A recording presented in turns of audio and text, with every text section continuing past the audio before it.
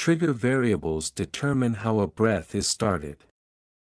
A breath can be initiated or triggered either by the ventilator, or the patient using time, flow, and pressure.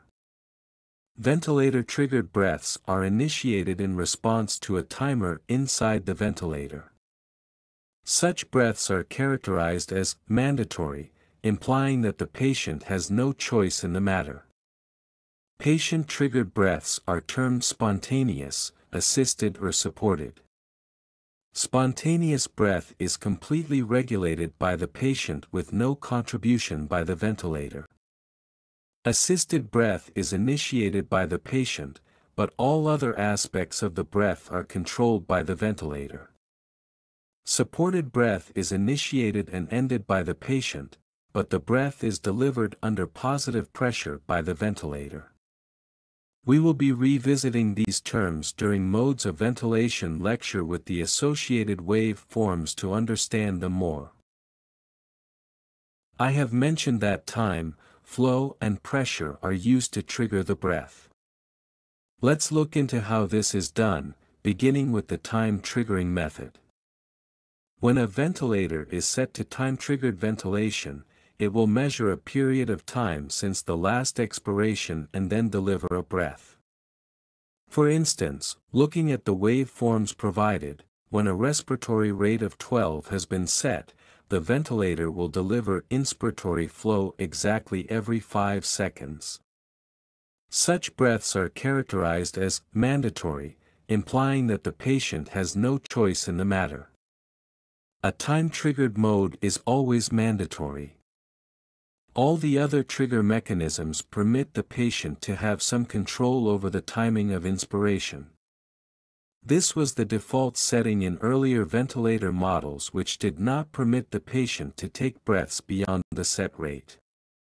Most modern ventilators allow patient triggering, and take some effort to synchronize their mandatory breaths with patient effort.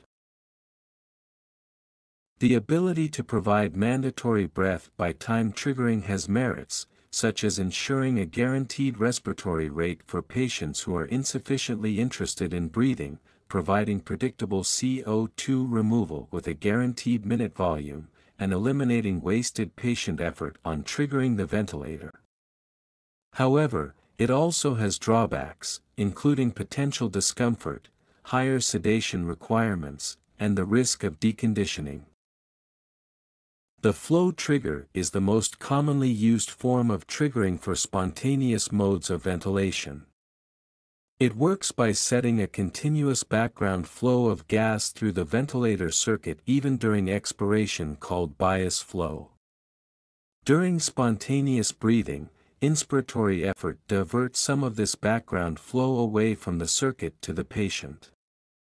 This results in decreased background flow exiting the ventilator which is sensed by expiratory flow sensor. The difference between the flow rate sensed by inspiratory and expiratory sensors triggers an assisted breath. For instance, if the bias flow during expiration is 5 liters per minute and the patient breathes in at 3 liters per minute, the expiratory flow rate in the ventilator circuit drops by 2 liters per minute. This reduction is detected by the expiratory flow sensor. When this missing 2 liters per minute reaches a specified threshold, the ventilator triggers the inspiratory valve to open and deliver a breath. On the side note, Bias flow helps to achieve peak inspiratory pressure during inspiration and positive end inspiratory pressure during expiration. So, basically in flow triggering, the patient have to generate certain flow rate from baseline to reach the threshold set by the manufacturers or the clinicians to trigger the breath. This means that, patient determines how many of breath, he or she receives.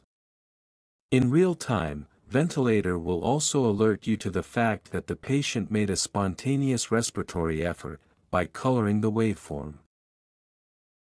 The clinician sets the flow trigger sensitivity. This is typically set at 1 to 2 liters per minute below the bias flow setting, which may be programmed into the ventilator or can be adjusted by the clinician. It makes sense that, the trigger be set in liters per minute as we are measuring the flow, but ventilators use different ways to set triggering.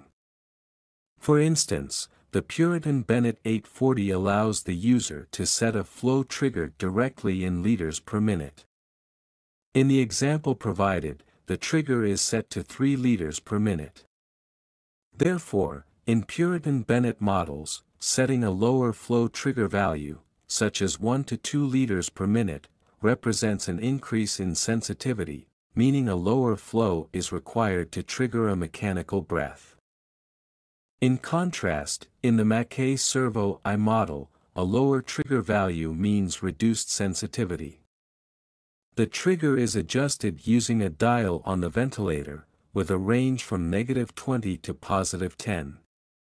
This range indicates sensitivity, with negative 20 being the least sensitive and 10 being the most sensitive. Settings between negative 20 and 0 represent a pressure trigger, with values indicating negative pressure in centimeters of water. For example, negative 20 corresponds to a pressure trigger of negative 20 centimeters of water.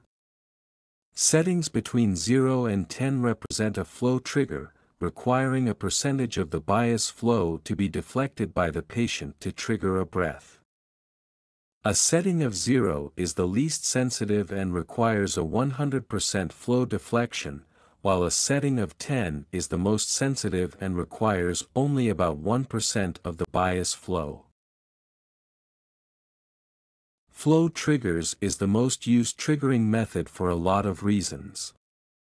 It is quite sensitive, that is, little patient effort is required to trigger a mechanical breath, and therefore the patient's work of breathing is not wasted on triggering the ventilation. It allows the patient to have control over their minute volume as the patient decides the rate of respiration, which prevents desynchrony. It is more comfortable because of a decreased work of breathing in triggering, increased control over ventilation and less delay in initiation. It permits a lower level of sedation because it is more comfortable. There are however some problems with flow triggering. It may be too sensitive giving rise to auto-triggering. A form of desynchrony where non-respiratory influences on circuit flow trigger mechanical breaths. For example, the cardiac pulsation, fluid in the circuit, secretions in the airway can also trigger the ventilator. Though the patient has control over triggering, it does not guarantee a minute volume, especially in patients with a diminished or unreliable respiratory drive. Fortunately, most ventilators come with a backup mode which automatically starts a mandatory breath rate if the patient decides to be apneic for some sustained period of time. Such mode is called synchronized mandatory ventilation, which we will see in modes of ventilation video. Just like flow trigger, the pressure triggering describes a method whereby a decrease in circuit pressure is detected by the ventilator pressure sensors and interpreted as patient effort. When the patient inhales against a closed inspiratory valve, it produces a pressure drop, and in response, the ventilator delivers a mechanical breath by opening the inspiratory valve. A typical setting for a pressure trigger is 0.5 to 2 centimeters of water. Here we see the pressure trigger of negative 5 centimeters of water. We can also appreciate the reduction in pressure from baseline in the pressure time waveform given here. However, pressure triggering is an old school method and is seldom used these days for the following reasons. It requires more effort to trigger the ventilator, as a change in pressure of even negative 1 cm of water requires more patient effort than a change in flow.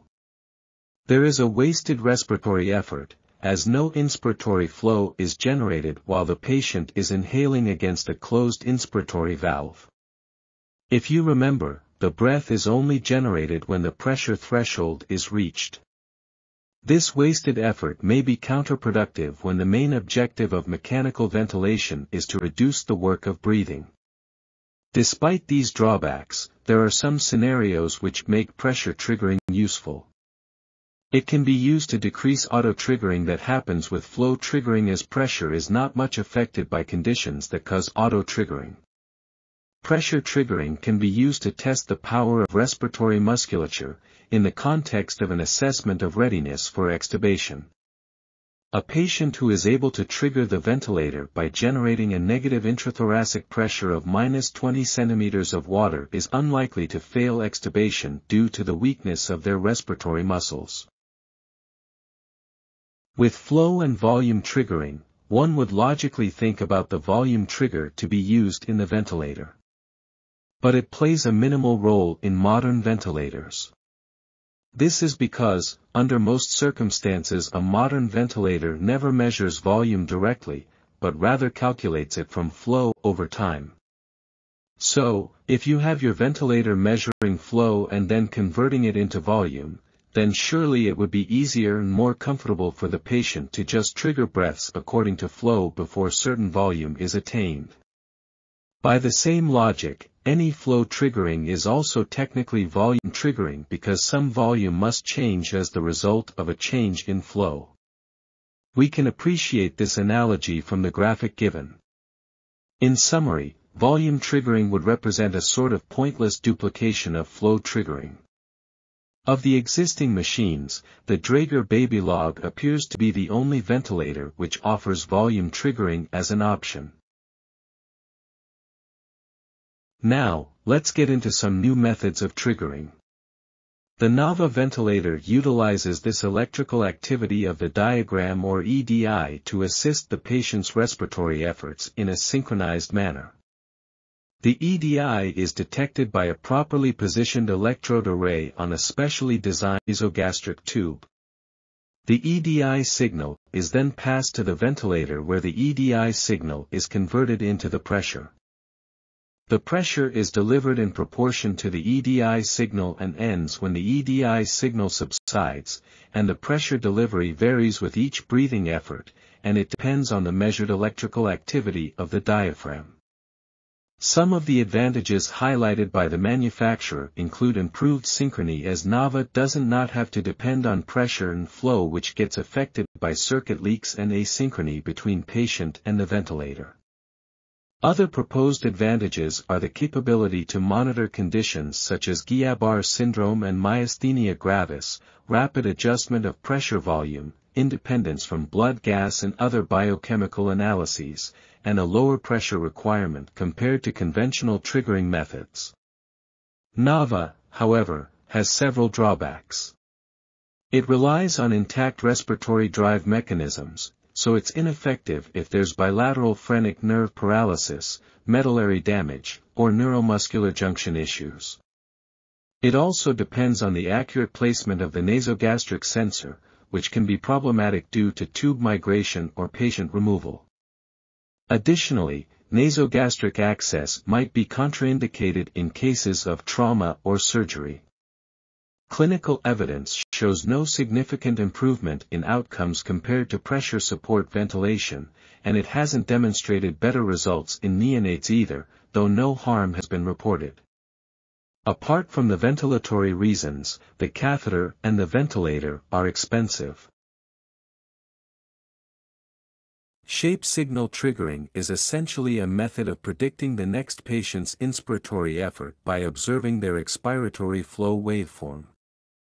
In the waveform given, the green one depicts the patient flow time curve. We need to concentrate on the expiratory part of the waveform. In shape signal triggering, a virtual flow waveform called shape signal is generated by the ventilator. This virtual signal is less than the actual flow by 0.25 liters per second and delayed by 200 to 300 milliseconds. The ventilator is triggered and the expiratory flow curve of actual and virtual waveforms intersect. Shape signal triggering is more sensitive and requires less patient effort compared to the flow trigger. However, Because the shape signal method has highly sensitive triggering, auto-triggering occurs more frequently than with flow triggering.